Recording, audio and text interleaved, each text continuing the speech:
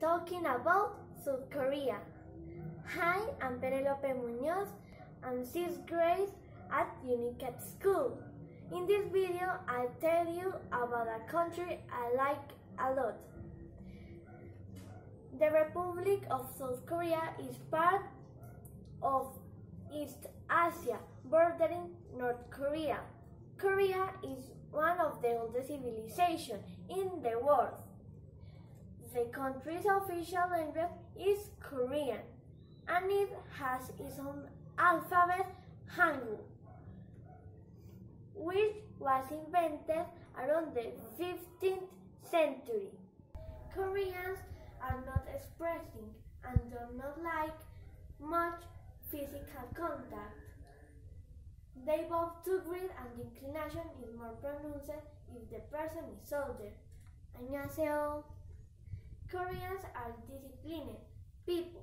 They don't speak while eating and never tips. South Korean society is a highly competitive.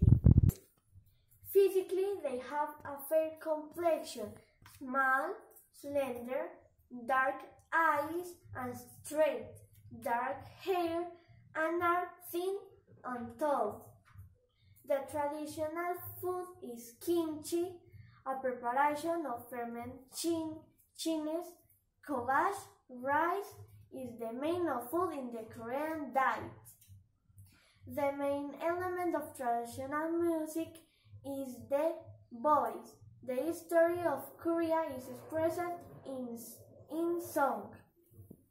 Important festivals include Jango, a drumming festival held to revive the spirit. Dongmaeng, a harvest appreciation festival. Anushon, a set of dances, dance dedicated to the sky.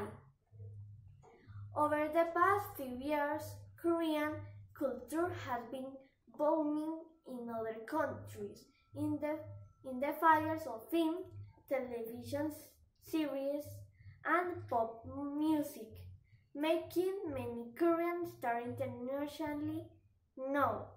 Thanks for watching my video. I hope you enjoy it.